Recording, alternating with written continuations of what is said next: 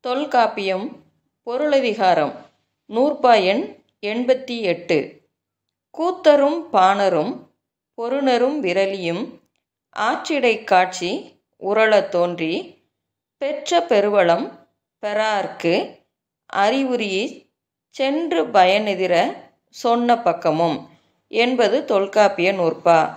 இதில் ஆற்றுப்படையின் இலக்கணம் கூறப்படுகிறது.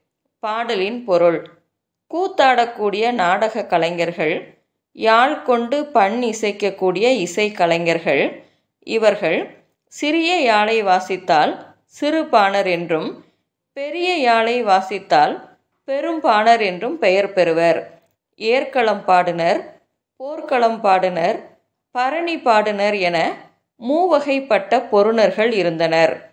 உணர்வுகளை வெளிப்படுத்தி திறம்பட ஆடும் ஆடல் மகளிர் விரலியர் என அழைக்கப்பட்டனர். இவ்வாறு கூத்தர் பாணர் பொருணர் விரலி ஆகியோரை சங்க காலத்தில் வாழ்ந்த கலைஞர்களாக அறிய முடிகிறது. இவர்கள் பாடல் இசைத்தல் கூத்தாடுதல் ஆடுதல் என பல்வேறு திறன்களையும் பெற்றிருந்தனர்.